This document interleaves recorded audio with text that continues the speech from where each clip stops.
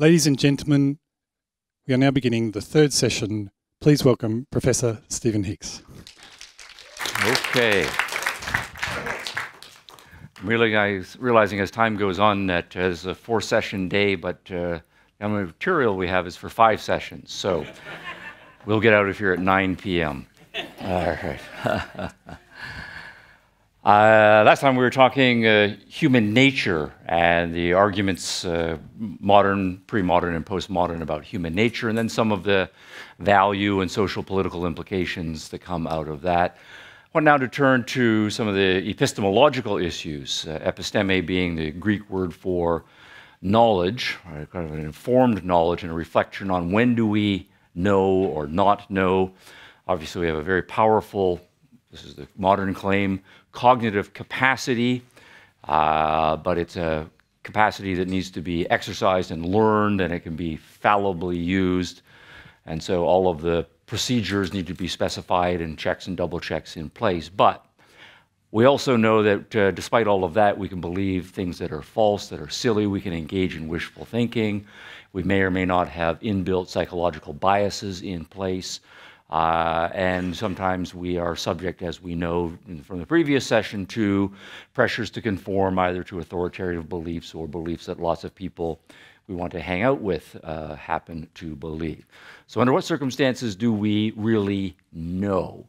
Uh, is everything probabilistic? Uh, is there a difference between something that's a speculation and something that's a possibility and something that's a probability?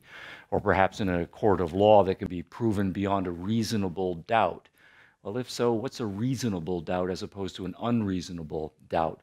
And can we ever be certain, the ultimate gold standard with respect to knowledge? So, long-standing philosophical claims, and especially important for us as human beings because we are not plants that just grow automatically and do what we need to do to survive nor are we uh, animals that may have uh, uh, instincts and automatic forms of knowledge and a minimal amount of learning. If you think about it, uh, you know, full-grown kitten, sorry, uh, not a full-grown kitten, but how long it takes for a kitten to be full-grown. Say it's born in the spring, it can come to adulthood in a few life and a few months and basically be on its own, and it knows everything that it needs in order to survive as a full-grown cat. Dogs might be a little bit longer. Chimpanzees, it might be a few years, say three or four years until the chimpanzee is mature and it knows what it needs to know uh, to function as a chimpanzee. But then we think about our three year olds, right? Our four year olds, right? The amount of learning and the development not only of their physical capacities but their cognitive capacities until they are ready to leave mom and dad and go out into the world and make a go of it and be able to uh, make all of those difficult judgment calls and experiment and try new things and stick it for the long term. That's a huge, huge project. So, philosophy, in terms of how it makes decisions about what human cognition amounts to, what the proper methods are, uh, uh, is an important foundational discipline and it has uh, huge implications. As we know, the postmoderns end up being in a rather skeptical position, and basically all of the knowledge claims you make the listed, all of the method claims, they will say no, no, no, no, no, all the way down. And so we do end up in a fairly strong form of skepticism. But before we turn to their critique, I want to uh, revisit some of the standard debates over where knowledge comes from. And there is, again, a pre modern versus a modern take. That's a fairly high level flying over the territory distinction, but it's, a, it's an important one and one that uh, all of us, I'm sure, have engaged with at some point. So, if we're going to say that we know things, we know reality, the question is going to be downstream from the question of what we take reality to be. So, do we think that knowledge is a matter of coming to know? Right? That the object of our knowledge is the natural world, the physical world out there. And if so, the question will be what capacities do we have for connecting with the natural physical material, however we describe that world. And then typically we say things like if we are born healthy, we have five senses that are our points of contact, information comes in, and then we can start the cognitive process by observation of the natural world. But if we are uh, of a, a, a, religious nature, we're more likely then to say metaphysically, reality is not primarily the natural world, but derivatively, uh, it comes from a supernatural world. Maybe perhaps the world was brought into existence by a higher power. It was given form, it was given direction. And so knowledge is of the higher world. That uh, when we know the natural world, we're knowing a secondary world or a derivative world. And if we're really ambitious, we want to know the highest of all high. We want to know the mind of God, for example.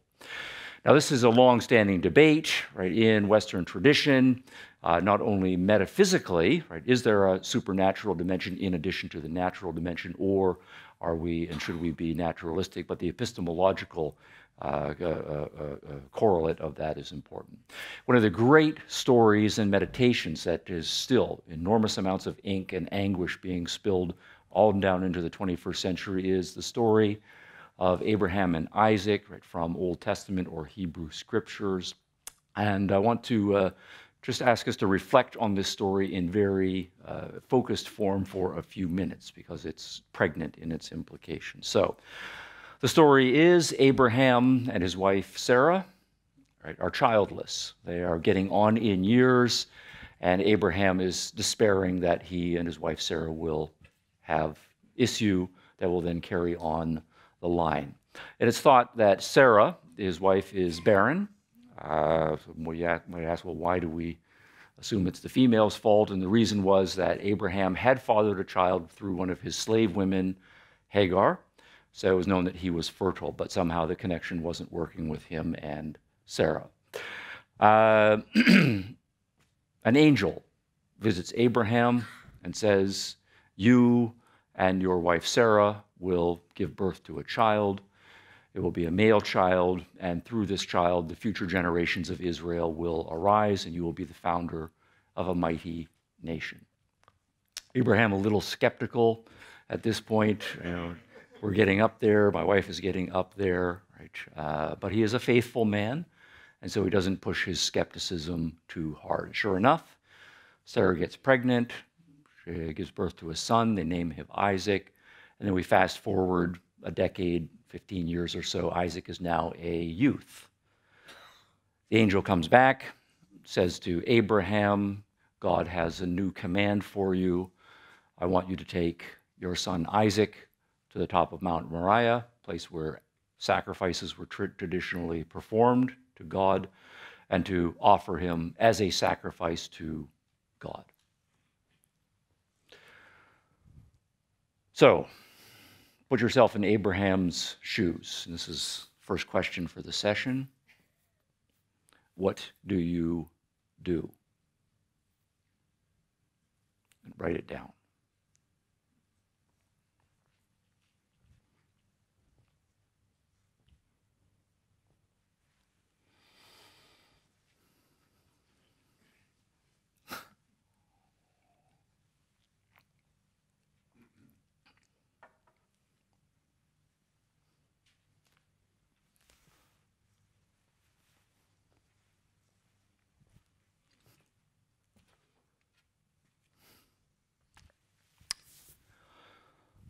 As you might expect, answers will vary on this.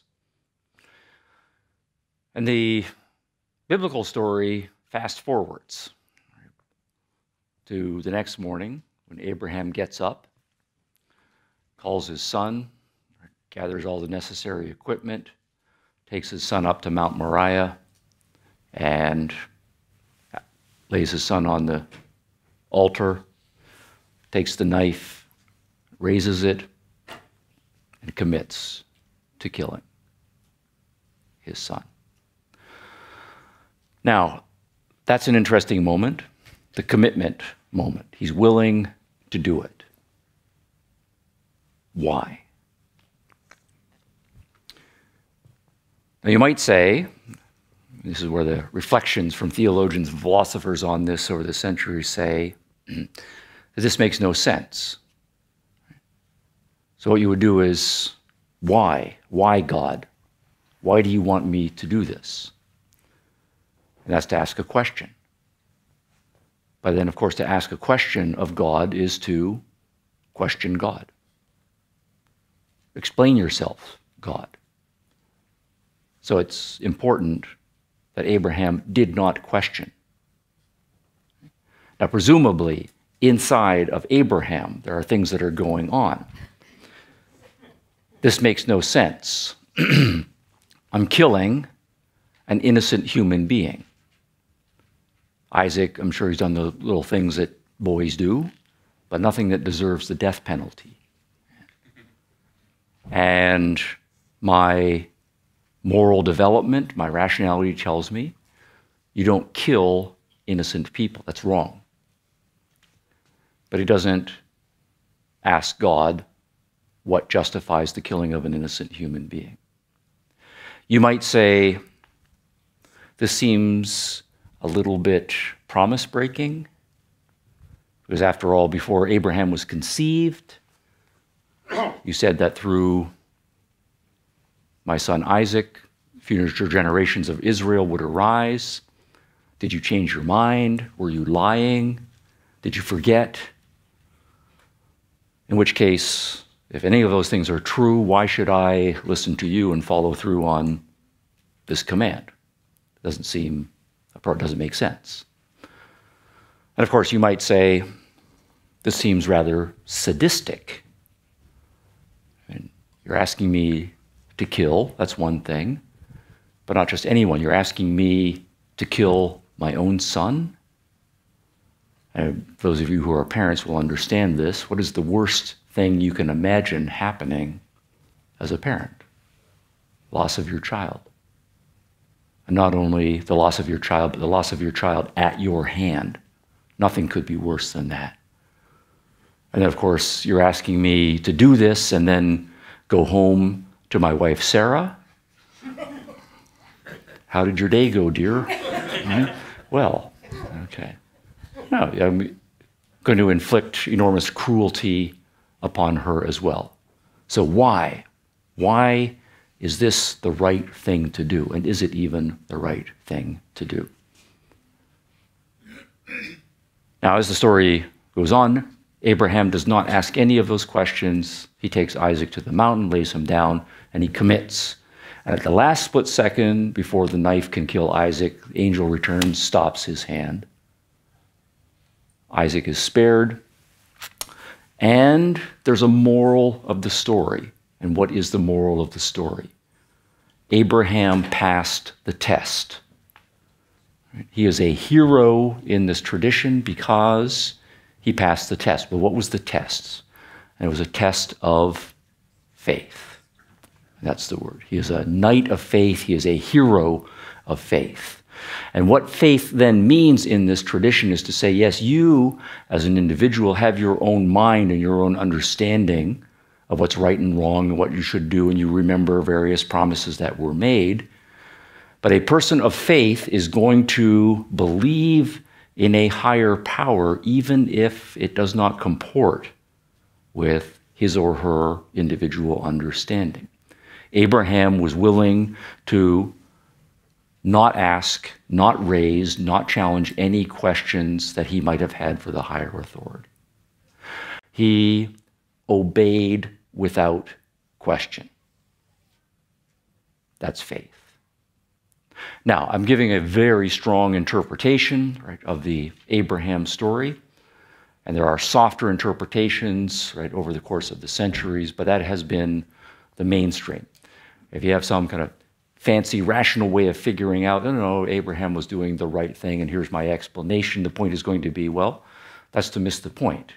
Because if it's a rational, sensible thing to do, then you don't need faith for it. You can explain what you're doing.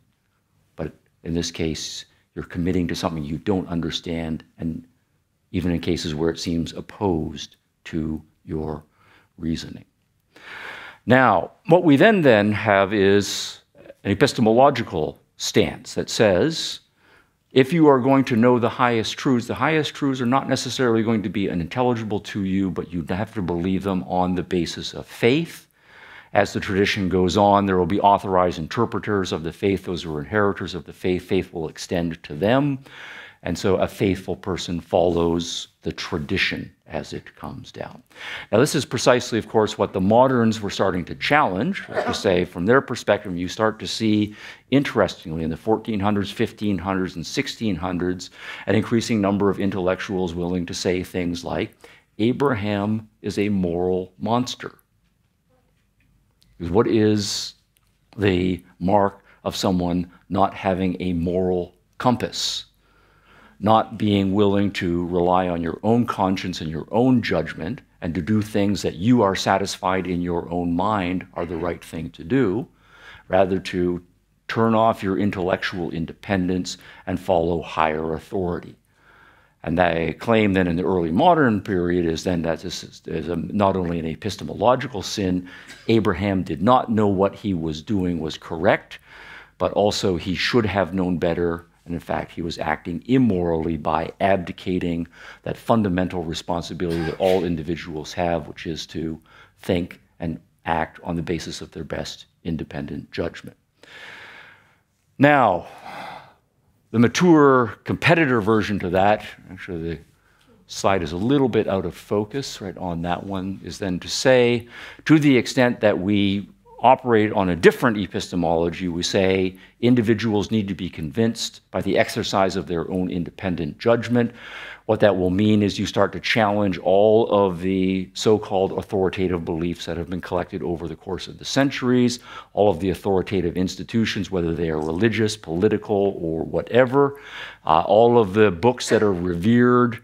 Everything will be put to the test and a matter of your own individual judgment. Now, in religious form, there's a religious form of this. This is uh, the scientific method, but the religious form of the Protestant Revolution, Reformation, is in part a epistemological revolution. So, if you think of the insistence that the Protestants had on, if you want to come to know the mind of God, you can't do it indirectly. You can't just uh, go through what the priest is saying on Sunday morning, and the priest has received it, uh, the interpretation from the archbishops, and the archbishops have received it from the cardinals, and the cardinals received it from the pope, and there's this long tradition of smart people that stand between you and coming to know God. The Protestants were wanting to argue, no.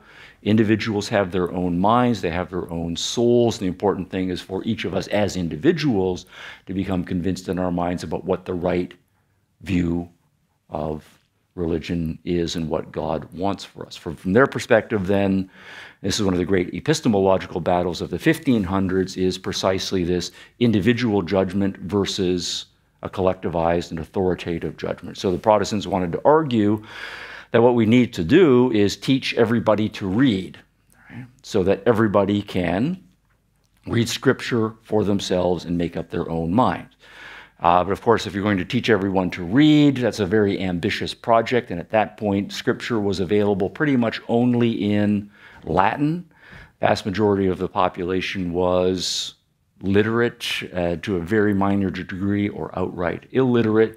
So the idea would be if you want to teach people to become literate, first you're going to teach them their own language, their vernacular. Then maybe if they're more educated, we can teach them Latin. But so the Protestants wanted to embark upon a massive project of taking the Bible and translating it into all of the vernacular languages precisely so that everybody could read scripture for themselves and figure out what it means for their own individual mind. So it's an individual movement, and this is highly resisted right, by the more institutionalized for now over a millennium right, church that has said we have a monopoly on proper interpretation of Scripture, right? To the point where translators and publishers of, it's hard for us to imagine now, the Bible in English or the Bible in German, they would be uh, hounded and hunted down by the Inquisition and persecuted.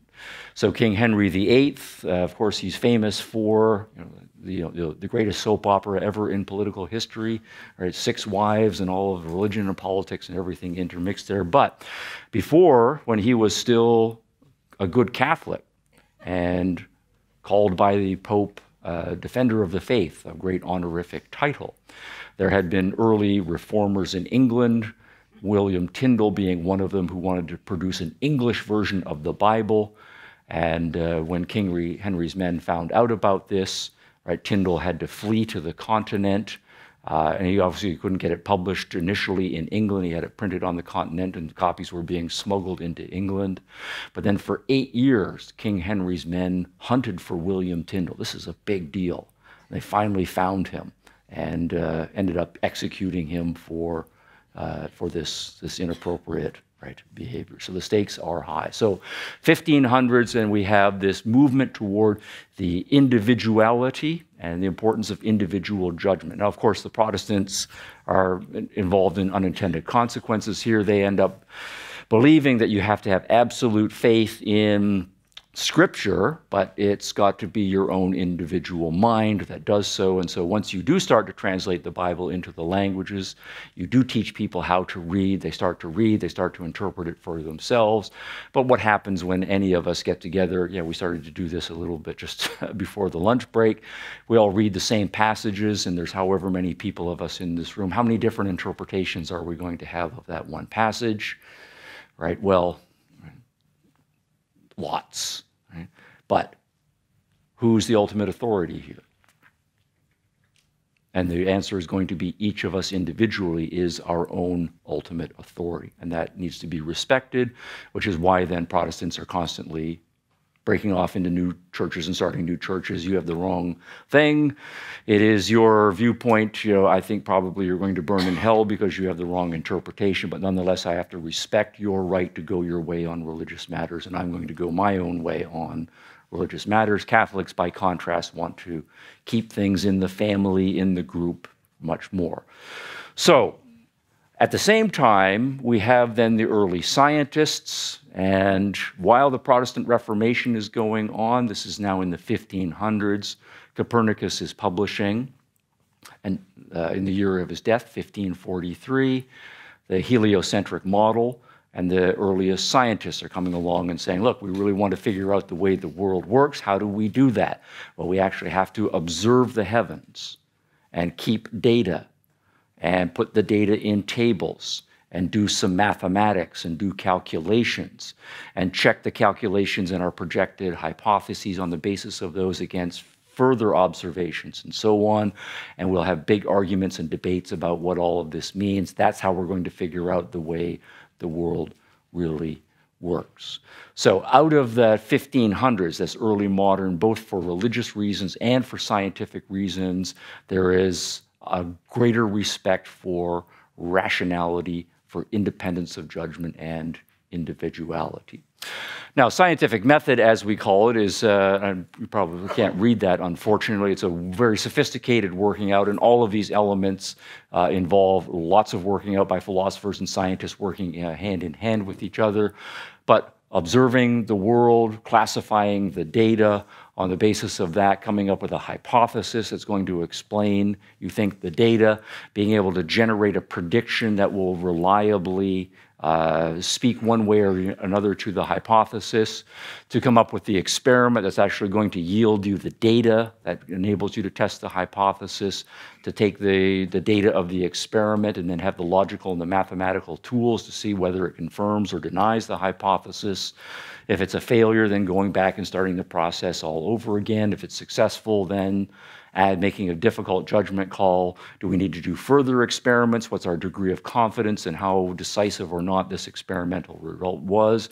How does this experimental result and this confirmed hypothesis fit with the other hypotheses that we have? How can we apply this in terms of practical consequences and so on. So all of this then gets worked out. But we still have all through the modern world a debate over whether fundamentally knowledge is a matter of faith in higher authority or whether it's something that individuals need to work out for themselves. And we find that debate going on within religious circles and, of course, across the divide between those who want to say religion is not up to snuff in the modern world. Uh, we have to go the scientific direction.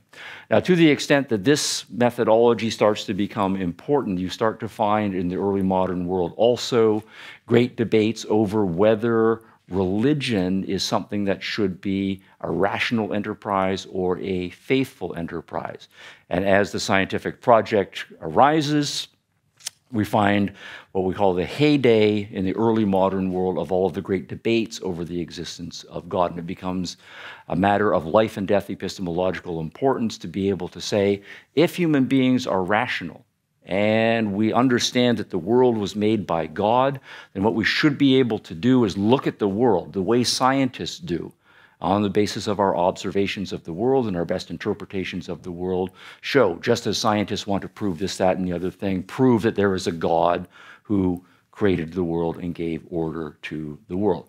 So, all of the arguments that uh, we're probably familiar with uh, from informal discussion, and then if you take university courses about, well, the universe uh, seems to be organized in terms of cause and effect. And uh, so there's all of these orderly patterns that are out in the world, and so we're very scientific in observing what those patterns are.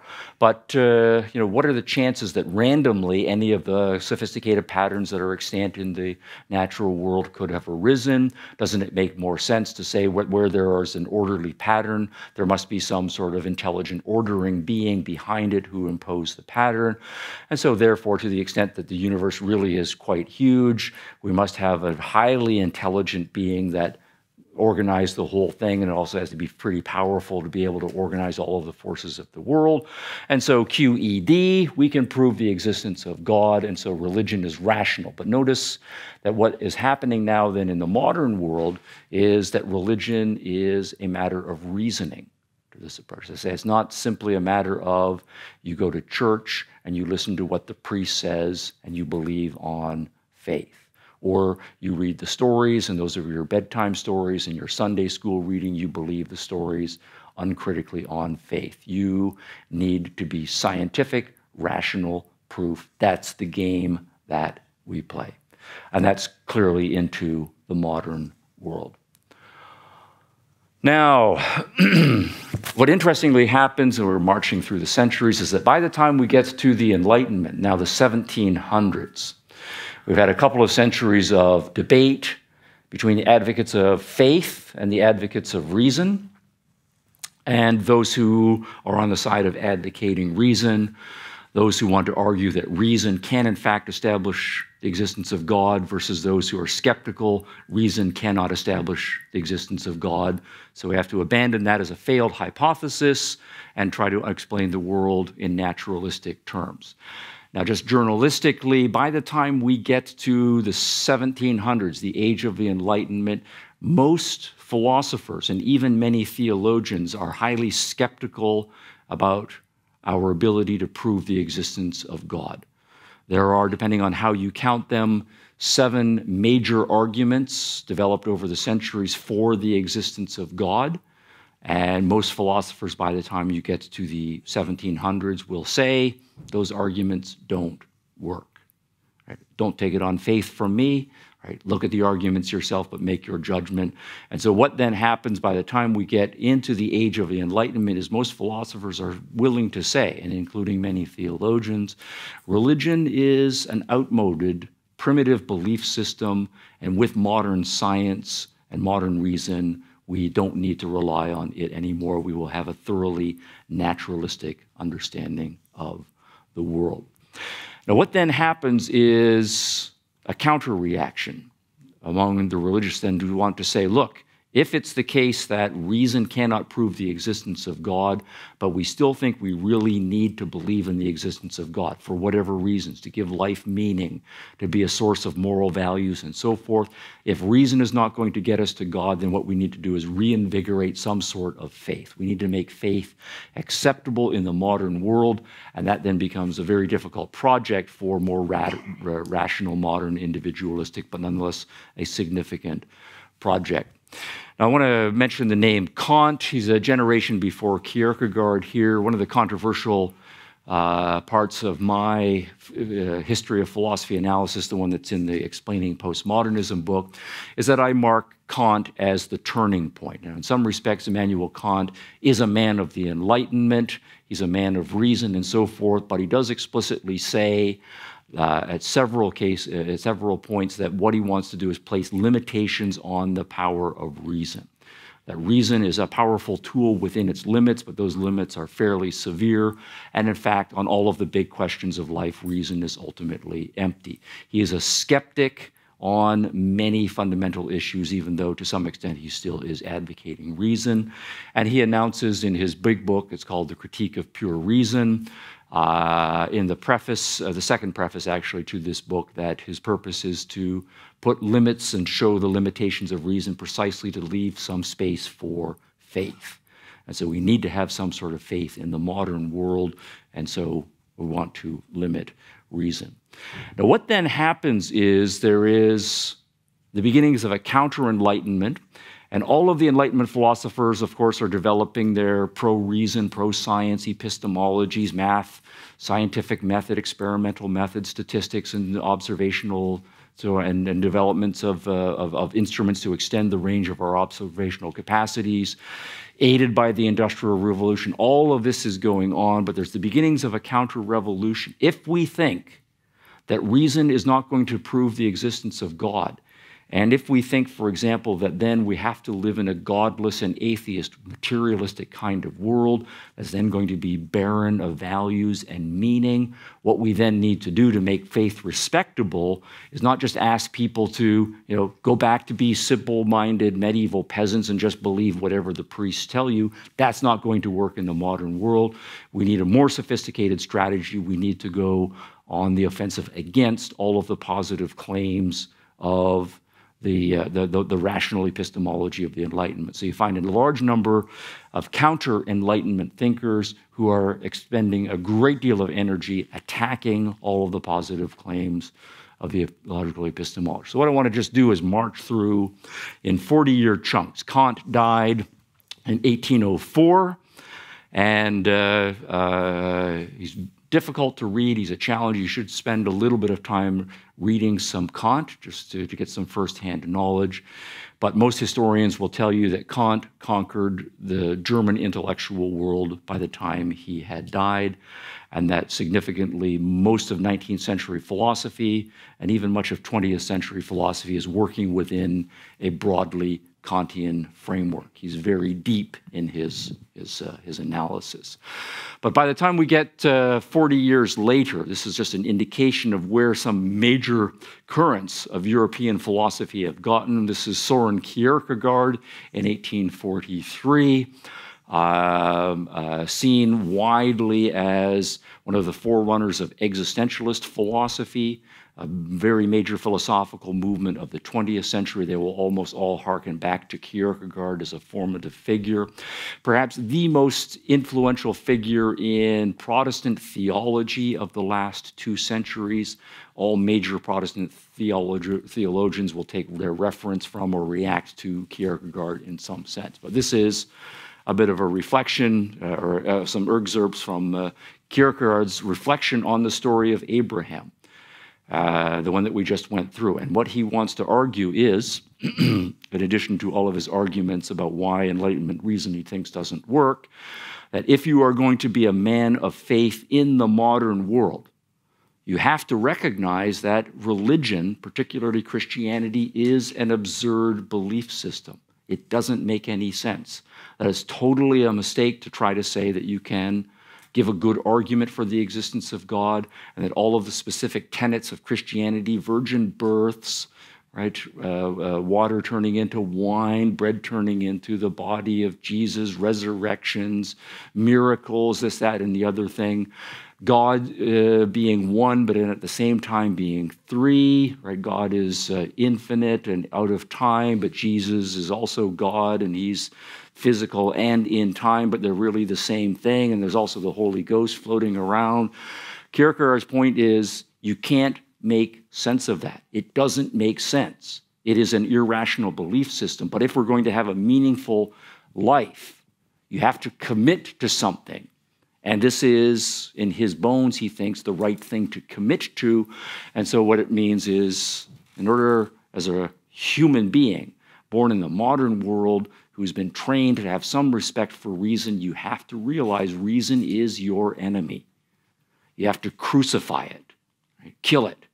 And then that's going to put you in a position to be able to make the leap into the absurd. and precisely why he says the most important story in all of human history is the story of Abraham is precisely for that point, because what did Abraham do? He had all of these questions, all of these rational questions. He stifled those questions, and he was willing to kill on the basis of his faith. And that seemed like an absurd killing but he was willing to do so. All right, that is post Enlightenment, anti Enlightenment thinking, 1840s.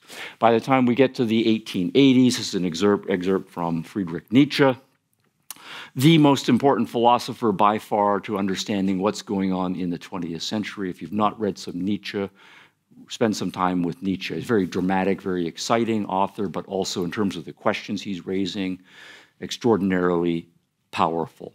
And one of the striking things about Nietzsche is the range of people who are influenced by him. Strong theists, strong atheists. He has harsh things to say about Jews and Christians, but a huge number of Christians and Jews will find inspiration in, in Nietzsche. People on the political left, on the political right, liberals, authoritarians, his influence is everywhere. You have to know something about Nietzsche. And what Nietzsche, of course, is famous for was the earlier God is dead phase, but what do we then do? Rather than, in contrast to Nietzsche, or sorry, contrast to Kierkegaard, just take an absurd leap of faith into a religious system. What Nietzsche is going to argue is a much more secularized, naturalistic version. Reason, from his perspective, is just kind of a Johnny come lately evolutionary thing, where instead what we have to understand is that we come out of a long evolutionary line. We're animals, we're predators at the top of the food chain, and we all have instincts and drives within us to varying degrees, but rather than relying on this, you know, you know, evolutionary late rational capacity, which, as he describes, is pitiful, shadowy and fleeting, aimless and capricious. That's what the human intellect is. If you're going to have a vital life, it's going to be passion and commitment that one will drive to. Again, anti Enlightenment. By the time we jump another 40 years, we're now into the 1920s. Martin Heidegger mentioned him earlier. Uh, he's dealing with a metaphysical question, trying to figure out whether the universe, uh, there's a reason why, why are we all here? Why does the universe exist? You know, if we want to say, well, there's no reason why the universe exists, it's just here, well, then we're saying that the universe's existence is just this irrational brute fact. On the other hand, if we say the universe is here for a cause, and we start to say things like, well, the universe is everything that exists, and so if the universe came into existence, it must have come out of nothing but then we try to say, what is it to say that the universe came into existence out of nothing? And that seems kind of absurd, irrational. I can't make sense of that. So either we say it's just here, there's no reason why it's here, or we have to give this absurdist answer that it came. So the point is then he's saying is that you know, if we start to think and try to think too hard with our weak intellect about these really important metaphysical questions, we just end up in contradictions and absurdity again. But he's happy about that if this contradiction, right, breaks the sovereignty of reason, and of course, what we know about the Enlightenment thinkers is the sovereignty of reason, right? Hold reason primary. Don't ever be irrational. Then the fate of the rule of logic is also decided. So we dispense with reason, we're also going to dispense with logic.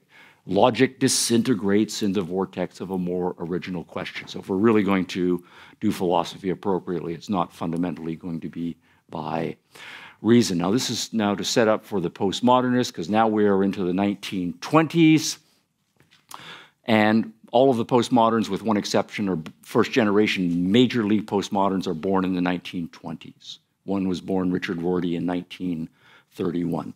Foucault, Derrida, Lyotard, Rorty, the big four, all born of this generation. So this is the philosophical world that they are now being born into.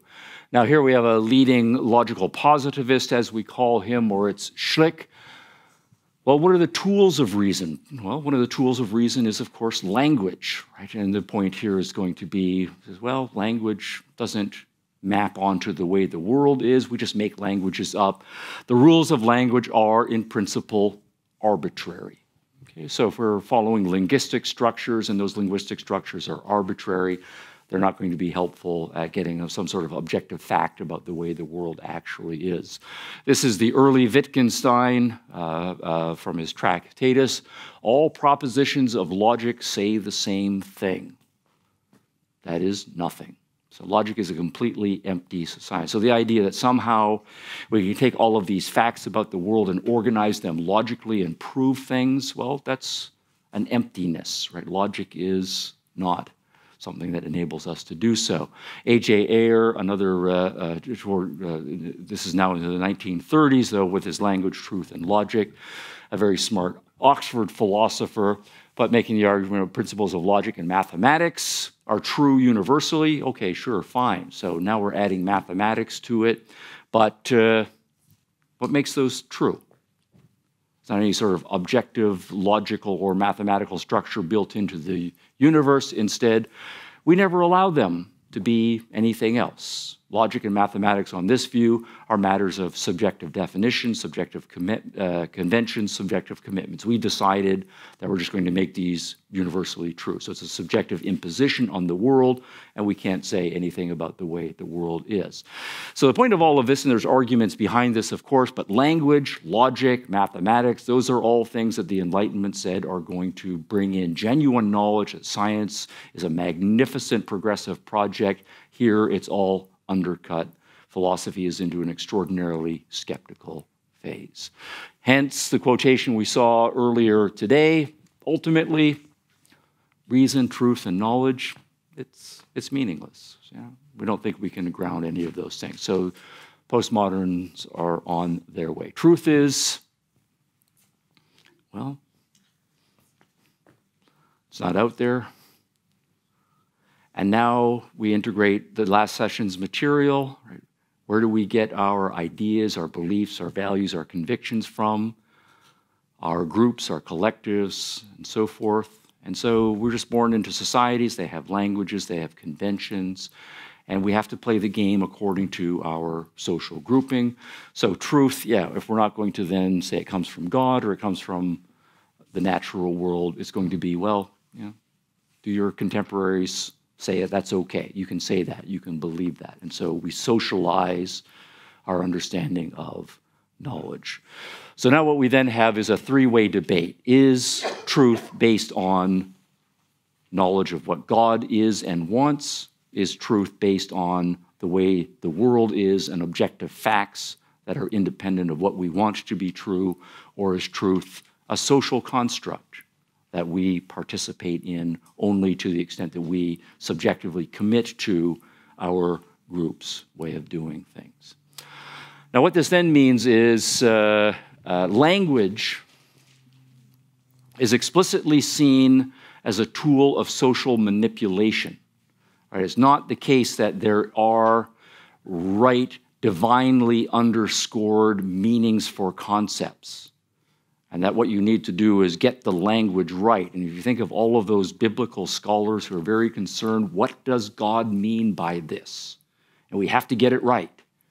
Or the very careful, careful definitions and distinctions and taxonomical schemes that scientists will use when they're trying to parse out the way nature works. It's important to get the language right and we need to define our terms and have sharp categories when the sharp categories are necessary.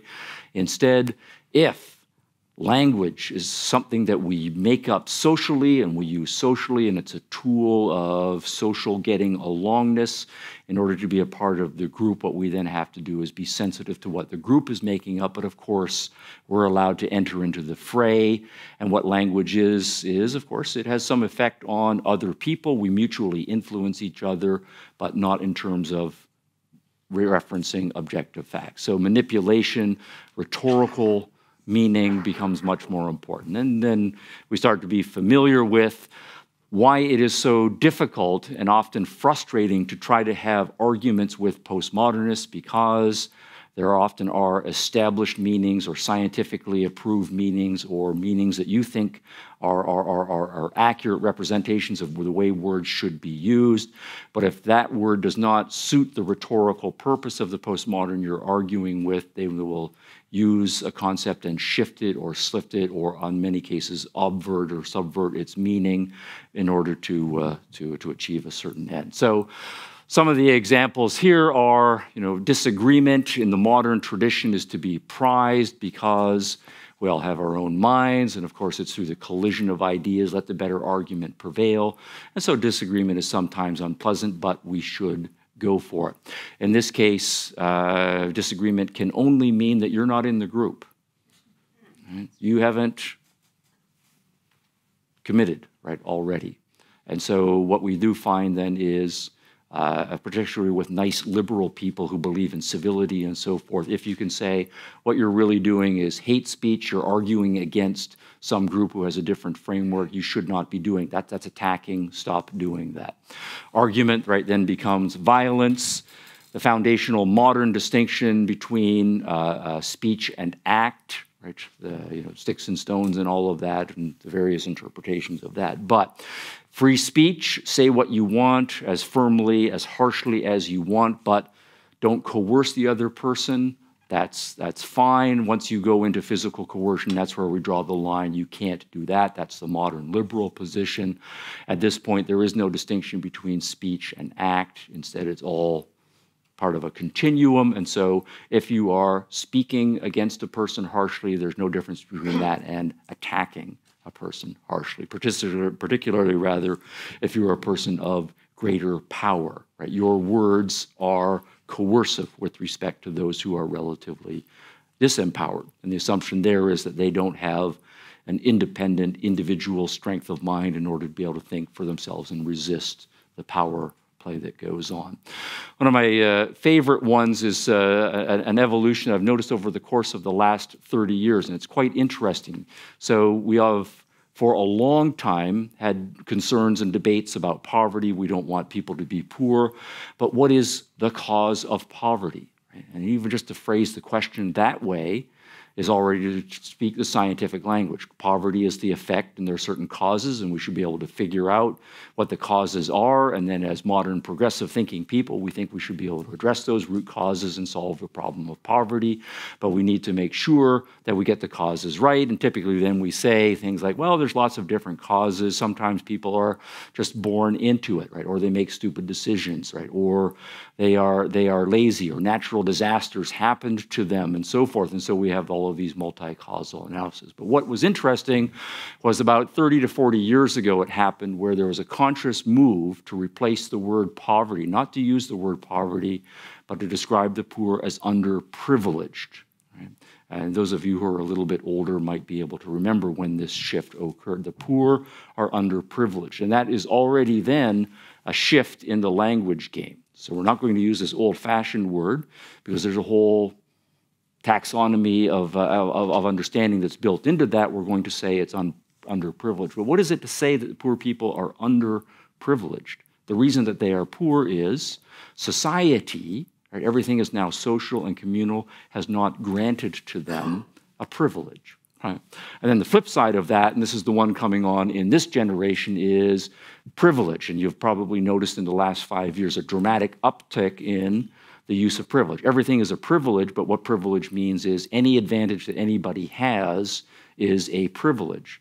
But what's a privilege?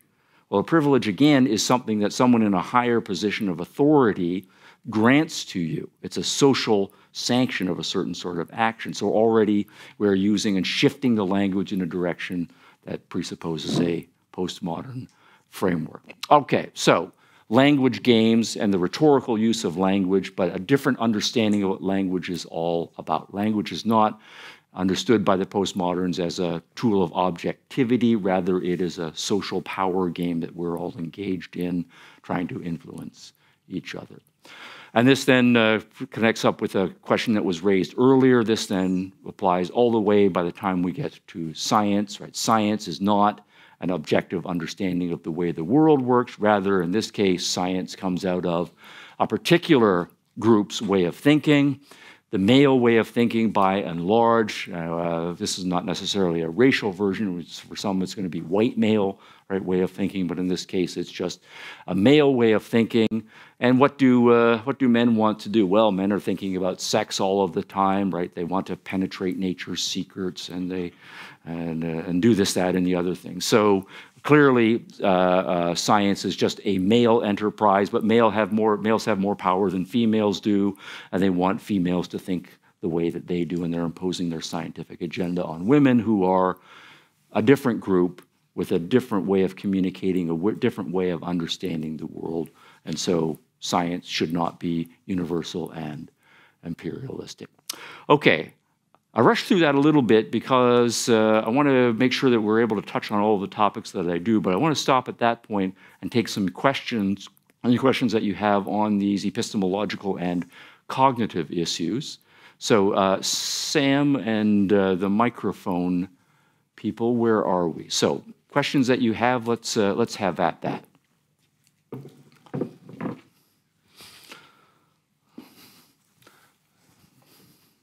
After lunch digestion is also happening. Yes, okay. All right, good. Uh, here comes the microphone, gentleman at the back. So we uh, then have a three-way debate over faith, reason, and kind of social rhetorical manipulation as what knowledge is all about.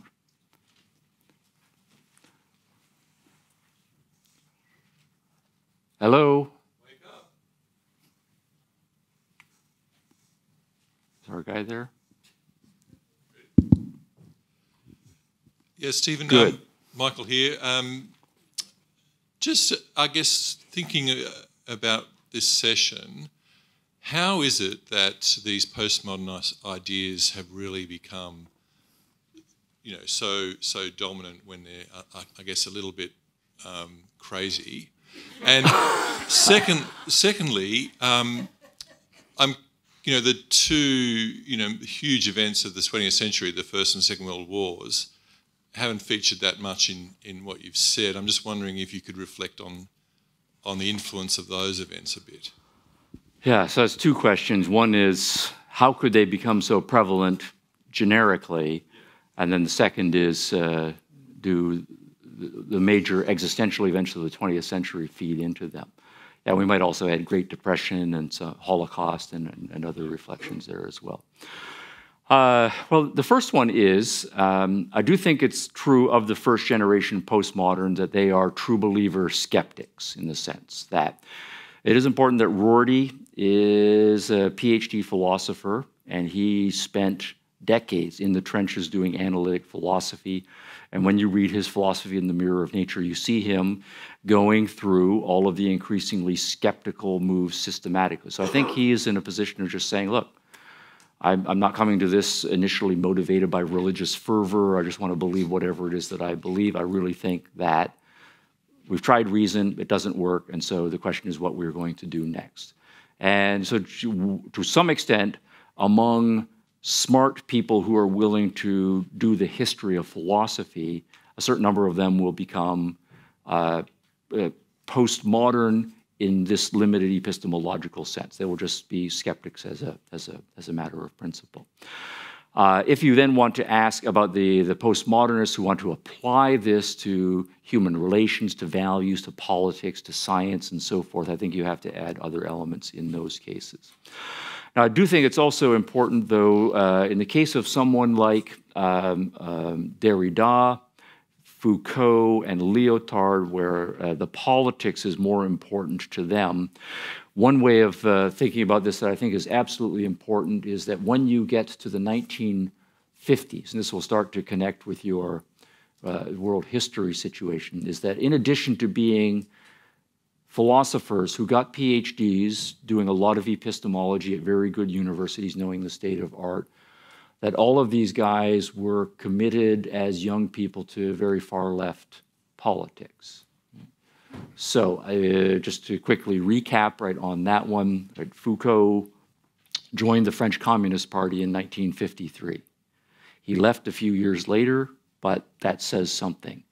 Late 1960s, Maoism is on the rise in China, and for many Western leftists, China is the sexy new version of socialism.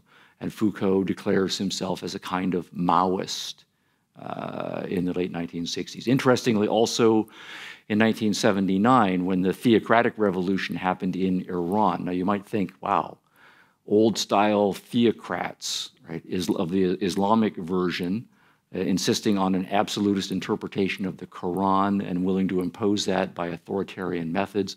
That's about as far as atheist, left wing postmodernism as you can possibly get. But nonetheless, Foucault expresses admiration for what is going on in Iran under the Ayatollahs.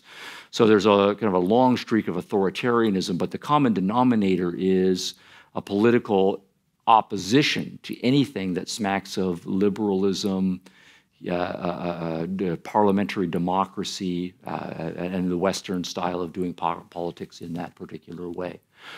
So you might then say, um, uh, actually, I want to say one more thing before I get to the, you might then say, Lyotard, uh, Jean-Francois Lyotard was a Trotskyite. Uh, he hung out and published with a group called Socialism or Barbarism. That was their name. It was either socialism as the wave of the future or, or just end up becoming barbarism or uh, barbarians. And Derrida hung out with French communists and published in their journals and was sympathetic to their cause.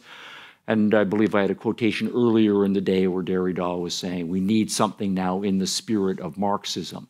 Now, this is in the 1950s and the 1960s, and the spirit of Marxism is important because the 1950s were a disaster for the far left, particularly the Marxist far left because the Communist Manifesto had been published in 1848, Marx and his co-author Engels.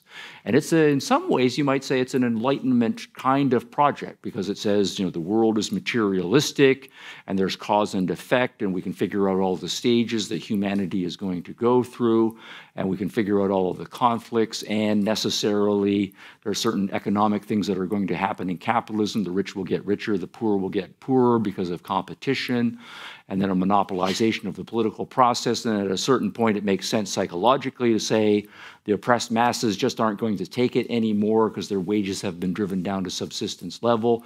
But they'll realize that they have vast numbers on their half, that the, uh, the exploiting rich guys are just a few numbers, so they have the ability to rise up, smash their exploiters, take over the government, and after a period of dictatorship, communism will arise. Now, that then is to say, if you believe in classical Marxism, you don't really actually have to do something because Marx said this was going to happen as a kind of necessary process. So by the time, though, you get to the 1950s, how long has it been since the Communist Manifesto? It's over a century. And usually at the century mark, people start paying attention. They say, hmm, we've been waiting for the revolution to materialize for a century, and it hasn't happened. And of course, at various points, they're looking for various economics indicators. Oh, there's a crisis in the 1880s. There's a little depression here. There's a recession there. Capitalism is finished. Capitalism is finished. And they keep making these predictions. But after you've made predictions six times, you start to feel a little foolish, right? Saying, oh, this time for real, it's going to happen, right? Then you start sounding like religious apocalyptics, right, who have been for 2,000 years saying, oh, judgment day is coming, it's coming, it's coming, it's coming. So, what we then have in the far left is a realization that the revolution is not happening. And that's a crisis. So, that then seems to indicate that Marx's predictions, as scientific as they are, and it's interesting that Marx also called his socialism scientific socialism. So, this seems to be a scientific theory that is failing. And we're going to say some more things about that in the next section. But then there's a kind of crisis of faith. So, what are we going to do with our commitment to a belief in some kind of socialism if we don't think the classical model is working? So, what I'm going to uh, be arguing, and I think we'll flesh this out a little bit later, though, is that uh, what you have is people who are skeptics when it turns to epistemological matters. And they're convinced that skepticism of some sort is, is correct. So maybe Marx was too optimistic to think that he could scientifically predict the way society was going to go. But at the same time, even though socialism of the form that they want to have, have happen has not happened, they still have a commitment to socialism. And so we're looking for different tactics to bring it about. And then it becomes a numbers game. By the time you uh, get to the 20s, the 30s, the 40s, and the 1950s, the demographics among intellectuals in the West is that a significant number of them are on the left, on the far left, and they believe that in some sort of Marxism is the wave of the future. So they're uh, in important uh, positions, and so they're able to perpetuate themselves. So something like that is to wave my hands at at the beginnings of an explanation. Uh, thank you. Um, I, I, I'm so far with you, and all this is ridiculous. But the question still is, and in fact, I think it was part of what was advertised that uh, how do you argue with these people? What yes. is the actual technique? If I, I, I, deal with people all the time who are on the green revolution and the green green side up or whatever, and it, it drives me mad because they, there are no facts, there are no issues you can actually deal with them over. They, they, they tell you things. I'll tell you about islands sinking in the Pacific or whatever. They have things you've, you, if you've heard about them, you can only vaguely remember what. How do you argue with a okay. postmodernist? Because it is not just in philosophy schools; it's everywhere. Right. I mean, I don't know. I, I, I find that I'm always dealing with people who seem mad to me. Okay. Well, unfortunately, the, the short answer to your question, and it's, a, it's an important question, is you can't argue with postmodernists if you're talking with a committed postmodernist, because on principle, they don't believe in argumentation. For them, it's a matter of rhetorical manipulation, rhetorical influence. They don't believe in argument all the way down. So the healthy thing always to do whenever you're having an argument with anybody is, do you believe in facts? Do you believe in logic? And if the answer is no, then whatever it is that you do with that person should not proceed on the basis of, of argument and reason. Instead, if the person says yes and they seem to be genuine, then you can have a productive debate and so forth. So it has to be that, that shared common ground. So what I typically do, though, is uh, um, say that if you find yourself, though, in any sort of a public forum and you're dealing with someone who's a postmodernist, that person is not your audience. Right? That person is a foil right, or, or a chance for you to get your arguments out. Because, well, yes, there are lots of postmoderns and they're everywhere. There are still lots of people, particularly young people, who are open to fact, open to argumentation. And in most cases, if it's shown that you've got a good case to make, they will hear that case. If the other person ultimately is babbling and or saying ridiculous things and or obviously engaged in you know paradoxical formulations and so on, that won't stick your, your argument will prevail. The longer term thing is, uh, to say, the sort of things that we're doing today. All of the arguments that led the, the postmodernists to be so skeptical, eh, so relativistic, so subjectivistic in the corrupted sense, and so forth. We have to know what all of those arguments are. And this is the John Stuart Mill thing. We have to understand what were the weaknesses of the Enlightenment project, what were the legitimate criticisms that were raised, how did we get to where we are right now, uh, so that we are up to speed on what all of the arguments are, and at that point we're in a position to say these are the important arguments that need to be addressed. And if in fact there are skeptical arguments that can be addressed against uh, reason or, or, or, or individualism right, or, or whatever, uh, the idea of universal rights, we have to know what those arguments are. So in that sense, uh, as frustrating as this generation is, we can see the postmoderns as doing us a certain kind of favor, because to the extent that they have arguments that seem to have traction, uh, if we find ourselves, I don't understand that argument, well, that means we have some learning to do. So that's an argument we need to pay attention to because it has some traction with some people and we need to know how to respond to it. I'm sorry? Haven't the left been using the, that, that tactic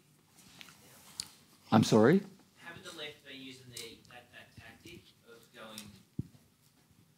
Sorry Sorry for butting ah, in there. There we are. Um, have the left been using that tactic for years now, like going on to, say, right-wing shows and all that, and even though they might only get maybe 1% of that audience, haven't they been using that exact tactic? Well, yes. Uh, you can say that the tactic goes all the way back to Marx in the 1800s because it is one of the implications that if you think people are born into different economic classes, and the class that you are born into shapes your worldview, including your values, including what you think is true and foundational, uh, then different groups are going to always be speaking past each other. And so the Marxists will very quickly say it is important, uh, uh, uh, uh impossible to argue with people. And if you identify an argument coming from a different part of the political spectrum, what you then just do is to say, oh, that's a rich person's argument, right? Or that's an argument made by a property, or you're only saying that because, and then they point out some feature of your your uh, your biography. So yes, everything becomes ad hominem, and that is an old tactic going back to the Marxists. But in even earlier, we haven't talked about him yet. There's a, a kind of a non-Marxist version of socialism that goes back to Jean-Jacques Rousseau, and he's usually seen as the first counter-enlightenment figure. Uh, arguing that reason is, uh, is, is, is, a, is, is a poor fac uh, faculty and that passions are much more important. Uh, uh, and so, uh, you know, the Rousseauians also will argue that socialism should be advocated from a, from a, from a more passionate perspective, and they will de-emphasize arguments. So you're right.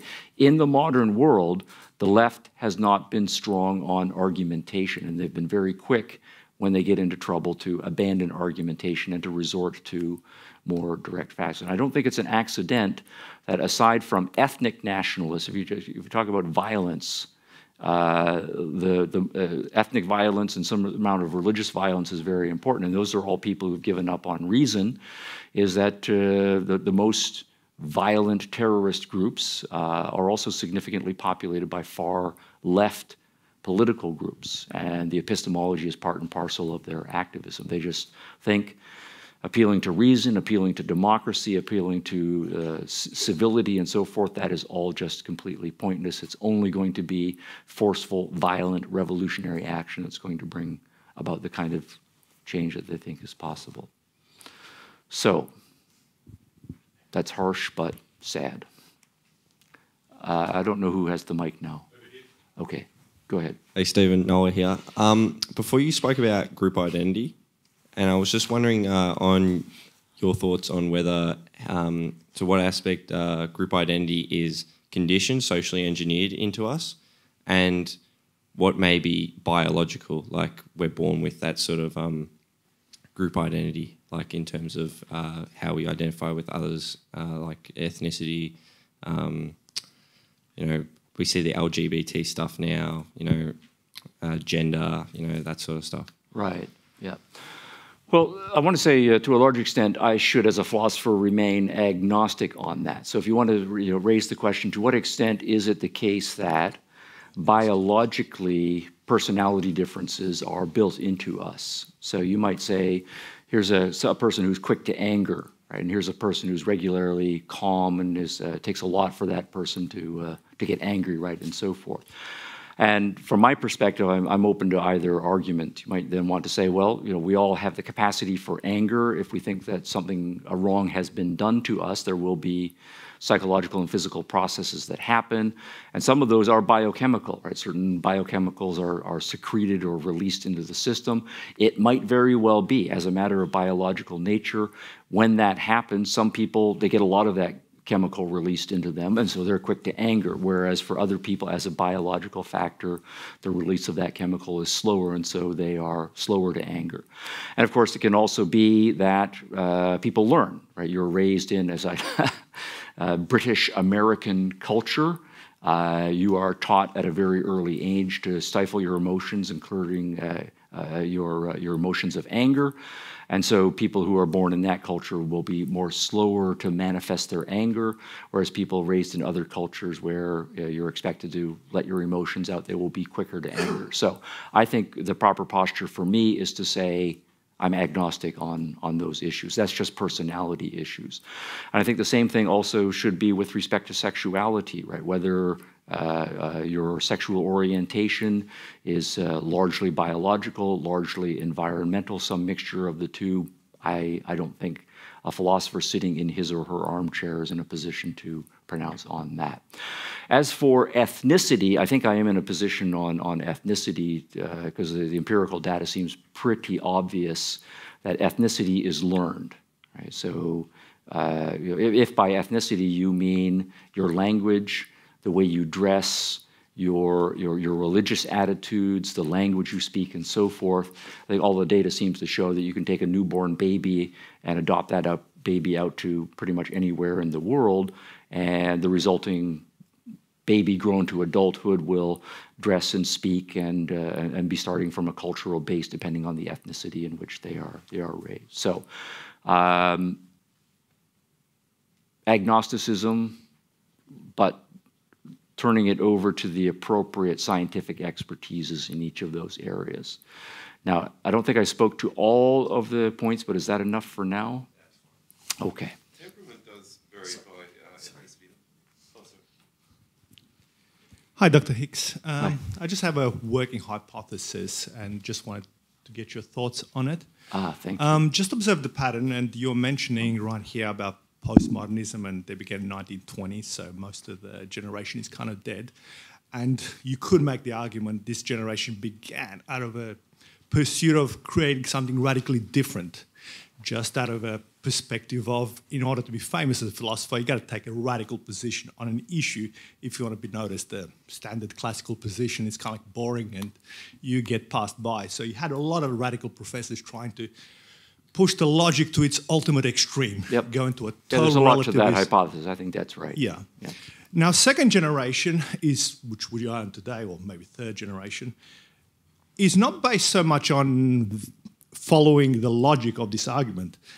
Scott Peck had an interesting argument. He's a psychiatrist, and he mentioned the point that the original sin is not pride or any other those seven sins that are classically defined as sins. But he said that in every human being, he observed there's a condition of laziness. From a baby to a fully grown man to a dying man, we are all lazy by nature.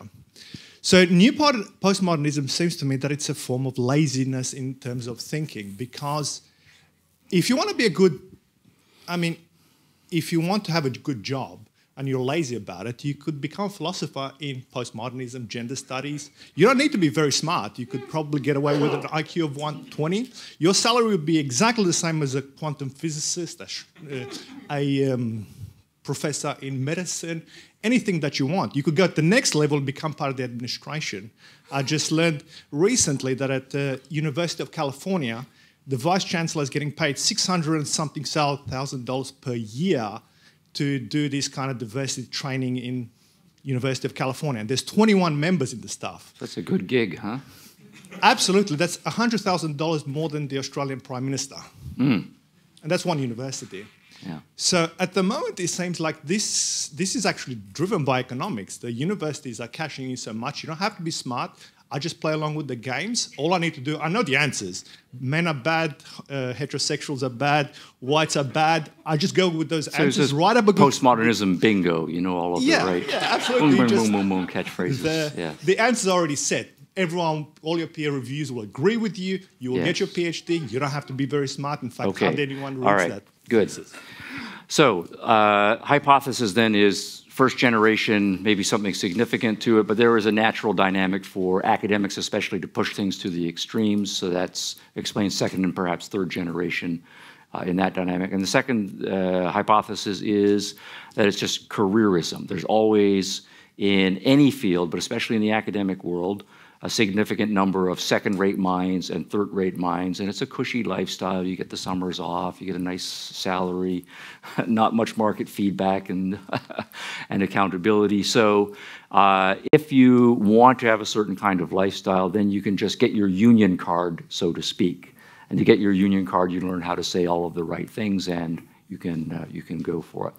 Now, I, uh, I, I think that's that, that's that's true uh, for a certain number of postmoderns, and uh, when you read a certain amount of the literature, you have to. It doesn't take very long before you realize that you're just reading the same old stuff that you read 10 years ago, right, or 15 years ago. So there's a certain amount of retreading that goes on, and then you say, well, why would these people be retreading and restating stuff that they know has been worked to death in the previous generation? And the only explanation then seems to be, well, they're intellectually lazy or they're intellectually without ambition. They're just putting in time until they, they get their they get their career. So I think those kinds of sociological explanations can go a long way to explaining the persistence of any movement that succeeds in capturing institutions. We're still left, though, with the question of how that institution got captured by that particular viewpoint, particularly if it seems like it's a crazy and uh, uh, set of uh, ideas and one that seems to be designed perhaps for some disturbed individuals and or lazy people as well. So I think you would have to go back to saying the first rate people, uh, they're the ones who did the capturing, and we have to take their arguments seriously. Now, I do want to take issue with uh, one thing that you said, though. I don't think that human beings are by nature lazy. Uh, I think laziness is, is a. I'm sorry? It's not my argument. Uh, oh, this is somebody else's argument. Okay. So, I it's would a take, psychiatrist. Yeah, got it. So, so he we'll, wrote the book, um, The Pathless Traveler. Fair enough, fair enough. Yeah. Okay. So whoever makes the argument that humans are by nature lazy, no, I don't think that's true. I think the exact opposite is true. I think anyone who has take, seen children, uh, children are naturally energetic, curiosity, or you put them in a, s- Intellectual laziness is the foundational one, not actual physical. Most people like to do a lot of yeah, no, that's, there's a mind-body integration here. Kids are curious. They, uh, uh, you know, I don't know, the, uh, the kids that I'm aware of at this age group, they just why, why, why, why, why. They, they want the explanation all the way, all the way down. Uh, they're, they're voracious. I think the opposite is uh, uh, kids are naturally athletes, naturally you know, genius potential, and what we do is we stunt them and we teach them not to do uh, various things. Okay. Ask question. Thanks very much, Stephen. Um, I've got uh, just, a, if I may, a very brief comment on the um, Abraham and Isaac uh, story with regard to faith and reason, then a quick question. Um, it does say uh, in the New Testament that Abraham reasoned that God was able to raise Isaac. And so I would say it was a marrying of faith and reason. Yeah. He reasoned that God was able to do it, and he had faith in the goodness of God, that God was just, so God wouldn't just let him die. So the fact Yeah. is that it was faith in a good God. He reasoned, therefore, that God was able to raise him. So this Right, was a, a, a marrying of reason and faith, which I think is actually throughout. If you know, that you can see throughout. And um, so If I he just uh, trusted. speak to that, and then we'll go to the, the Yeah, next yeah. thing. So, yeah, this is a, a mainstream, more moderate interpretation of the Abraham story, right? That you are you are offering here. Um, but you'll then you'll notice though that that it takes the bite out of faith as a virtue. Because then what you have to do is to say, for Abraham to be a good person, he has to go through a certain process of reason. And to the extent that he goes through the process of reason, he's not a man of faith. no, I would argue So that- faith, yeah. So faith. Well, I'm just saying that's Yeah, yeah, there's yeah. that's the response to that interpretation. But uh, even to the extent that if you go through the process of reason and you say, I believe that God, in His goodness, must have some reason or other for this. If you don't understand what that reason is, then you are still deferring your responsibility to know why you're doing what you're doing to a higher authority, that still would be a faith move. Um, and to the extent that you think people should act only on the basis of their own understanding, it's a, a moral responsibility abdication. I see what you're saying. I, I don't totally disagree. I think it's also a matter of trust. He trusted, like uh, without understanding. uh, Like my, my, I might not understand what my husband does, yeah. so Okay, but this I is a- have this- faith in him That's that right. he will but do the is, right this thing. This is a great issue. This is a great issue. So So, it- so, take. Or let me just come back on The that one. So you got your husband there, but just put it in this perspective. Suppose your husband comes to you and says, "I want you to take our son out into the backyard." And right.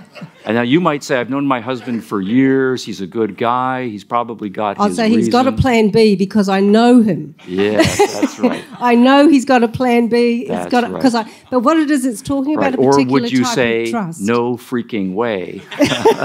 well, probably I'll going tell him to where to get Yeah, off. You know, that, that's So good. Personalize it. Yeah, okay, but then your follow up. But look, the, the point that I was talking about trust was is that we often hear politicians say that public trust is at, at an all-time low, and I think that is absolutely true. And I think it's absolutely true because people. Well, this is my, and I'm asking, do you think it's true? Because people don't know what to believe anymore.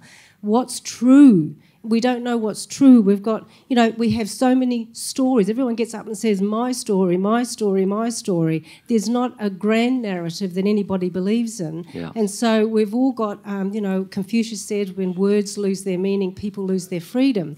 And we see the erosion of freedoms day after day after day because we all have to have our own little special spaces, which necessarily discriminates against someone else in the name of inclusion. So all this sort of stuff is this the whole consequence of postmodernism? Yeah. I wouldn't say all of it is a consequence of postmodernism, no, not by a long shot. Um, uh, faith in, say, government officials and people in positions of power, that's a long-standing condition, right, in the modern world. It goes up and down across the generations. And part of that is, uh, part of that is healthy. Uh, you see a lot of corruption that goes on there, and that should undercut. You see, in many cases, uh, people in positions of power, they said that they had things figured out, but they were just plain wrong. And so history starts to teach you that you probably shouldn't just have faith and so forth. And so I think uh, that realization, distrusting people is is healthy. You should be healthily skeptical until those people have proved their their position. But I think postmodernism has uh, had its uh, effect over the course of the last generation because younger people, by the time they leave high school and certainly by the time they leave university, they are less prepared for the world, and that's uh, that's a result of. Uh, uh, all of the things that we've been talking about today. If you don't think the mind and objectivity and argumentation and taking science seriously uh, are, are, important. You're not going to spend a whole lot of time. And so by the time you've got kids who are 18, 20, 22 years old, they, uh, you know, they have their educational certification, but they're not yet educated. At the same time, we're developing an increasingly complicated world. And so we're putting them out into a complicated world. And they're not stupid in the sense that they realize how complicated the world is, but at the same time, inside they realize they're not ready to take it on. And so that is a that's a difficult place to It's very frustrating. Uh, and people, of course, will react. Sometimes they will just withdraw from everything, just go into a shell. Others will, uh, will, will say, I, you know, I need to just then just try something and do something irrational. Or some of them will sense that uh, they've been sold a packaged goods, a raw deal, uh, that they're putting, being put into a complicated system that is already corrupted, and that will make them angry. And so a certain amount of the activism, I think, is, uh, is appropriate on the basis of that, and at least psychologically understandable. That, All right, next and break. That concludes the third session. Please thank Professor Stephen Hicks. Okay. Good.